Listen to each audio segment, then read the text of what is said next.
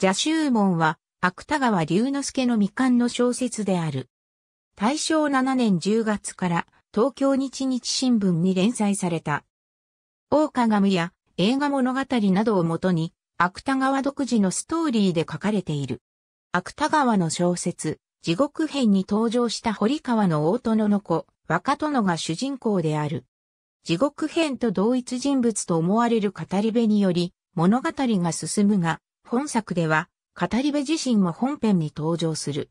時代は平安時代、本編に出てくるマリの教は山田幸三郎の景況という説が有力。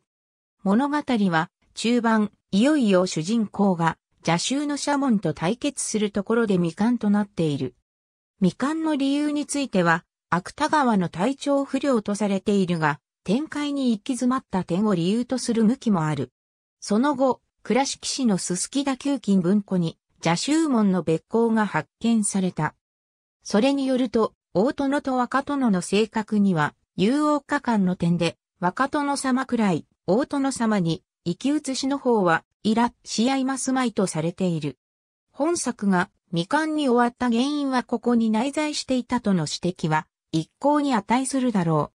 堀川の大殿様の子である若殿様は、父親とは、容姿、性格、好みすべて、正反対で、優しく物静かな人物であった。その生涯は平穏無事なものであったが、たった一度だけ、不思議な出来事があった。